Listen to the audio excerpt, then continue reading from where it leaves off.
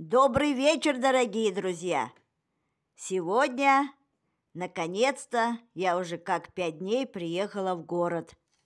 Поэтому буду снимать посуду, у кого буду в гостях. Конечно, я у двоюродной сестры Надюшки, и вот хочу показать ее посуду советскую. Вот собрала здесь, сколько есть, сколько смогла. И хотя бы их надо показать вам, потому что посуду я очень давно не снимала. Хочу показать чайные пары, сахарницу и блюдца. Начну вот с такой. Много болтать надо, наверное, прекращать. Вот такая чайная пара нашего знаменитого завода Дулева. Смотрите, мои хорошие. Но это, конечно, не глубоко винтажные, даже можно сказать, довольно-таки почти современные, но 2004 года. Ну, конечно, уже тоже с возрастом, но не советского периода. Ну, они абсолютно неплохие. Вот золотая отводка тоже есть. Деколь красивая с маками. Вот клеймо. Второй сорт. 04 год чем зато чашечки, вот которых у меня, можно сказать, вообще нет чашечек советских. Прямо страдаю, удастся купить, не удастся. Вот такая красота. Свет опять не хватает. Извините, если что, друзья. Вот такое блюдце. Тоже есть вот золотые края. 04 год. Вот и эта парочка. Их, по-моему, пять пар. Я все, конечно, не буду показывать. Так, ну, эта парочка тоже, наверное, 90-х, по-моему, это считается. Полонная коралл, который вы тоже все знаете. Я часто говорила, показывала.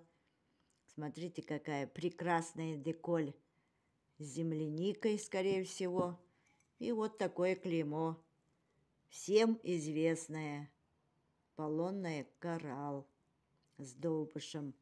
Но говорят, сейчас они тоже не работают. Это, по-моему, в начале 90-х, что ли, они объединились и вместе немножко поработали. Блюдца, оказывается, вот такие. Я-то думала, это совсем другие. Одиночные блюдца, а оказывается, к этим чашкам. Деколь прекрасная. Вот две пары решила показать. Так, их тоже, по-моему, пять штук.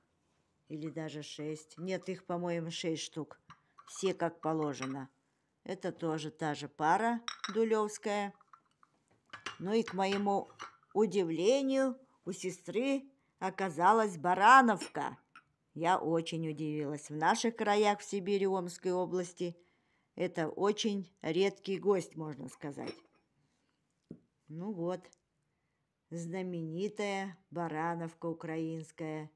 Вот такая прекрасная сахарница. И шесть чашечек осталось. Блюдец, блюдец, как я поняла, нет. Вот такое клеймо, которое вы тоже знаете. По-моему, последнее клеймо, которое ставилось, кажется, до 90 первого года или чуть-чуть попозже. Вот такой знак. Прекрасная сахарница. Горошек. Люблю тоже горошечек. Так. И вот такие чашечки. Ну, блюдца есть, но они абсолютно другим. Так, крышка родная. Вот такие чашечки. Это же одно и то же, конечно. Я считаю, что это одни и те же. Клеймо точно такое же, одинаковое. Барановка. Вот такой горошек оказался.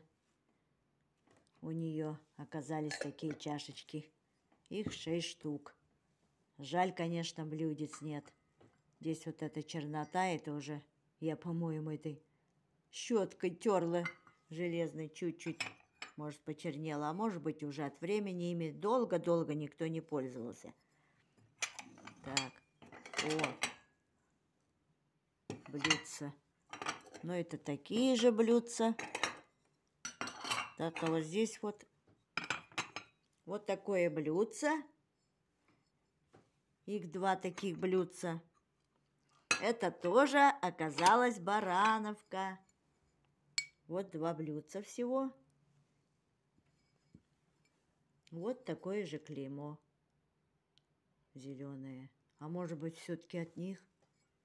Потом, хотя... Ну вот, я не знаю. Нет, по-моему, по-моему, не родные, мне кажется. Ой.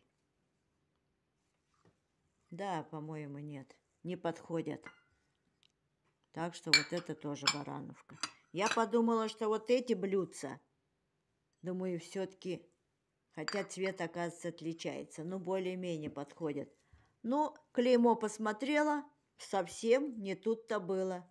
Это Прокопьевский фарфоровый завод. Вон стилизованный олененок. Так что абсолютно таких блюдец несколько штук, и они почти все оказались разных заводов. Вот смотрите, мой любимый Владивостокский, который мне всегда попадается. В основном Владивостокский очень много попадается. Восьмерка и лотос. Или тюльпан, как я говорю. Мне нравится, как тюльпан. Вот. А они разве не одинаковые? По-моему, одинаковые. Но это все следы времени. Это все уже не отмывается. Так, посмотрим вот это блюдце. Это тоже Владивостокский. Так, а это посмотрим.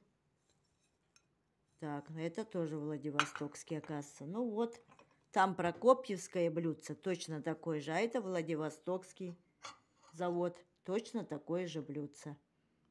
Ну и вот вот такую маленькую пиалочку маленькую покажу. Смотрите, какие красивые малинки. Тоже советского периода. Позолота немножко потерлась. Здесь вот чуть-чуть заводские дефекты, но ничего страшного. Ну и проявляется здесь буква К. Вот, смотрите. Ну, вообще-то не знаю. У Копчагайского внизу есть такая типа полоски, а здесь нет. Но рядом с буквой К какая-то типа точки, что ли. Поэтому понять опять не могу, то ли это Копчагайский завод, то ли это Киевский. Терла, терла, все равно что-то осталось. Казалось бы, хорошо чистила. Но ими никто не пользуется. Вот такая миленькая, красивая фиал... Ой, пиалочка. Все, решила разбить на три части. Покажу еще впереди супницы антикварные. Так, ну все, друзья, спасибо всем за внимание, за просмотр, за лайки, за комментарии. Удачи вам всем, здоровья и пока-пока.